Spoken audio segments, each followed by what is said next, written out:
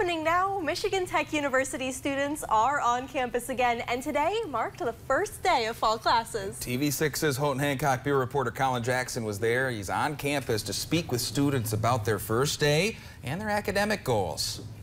Thousands of students moved across Michigan Tech University's campus for their first day of classes today. Some explored or hung out with their friends, while others headed to or exited their classes. Wisconsin-born Olivia Capelli is one of these students. Following an internship in Stevens Point, she's back to continue her education in biomedical engineering. I actually just got out of a signals and systems class that um, we're going to work on taking signals from EKGs and transmitting them into a format that you can look at and actually analyze. Other students are interested in electrical engineering, such as Ben Penix. This summer, he took part in an internship at an airport. After gaining hands-on experience, he is looking to go into a career of aviation development. Specifically, military planes is something I've been interested in, thinking about weapons on those and things like that, but I'm not picky right now. I just learned that I really like the developmental side of it. Still others are not at MTU for technology or engineering focused careers. Perry Meslow is aiming to get a history degree before going to law school, but he says law school is not his only option. It gives me a little bit more wiggle room if I want to pursue something in government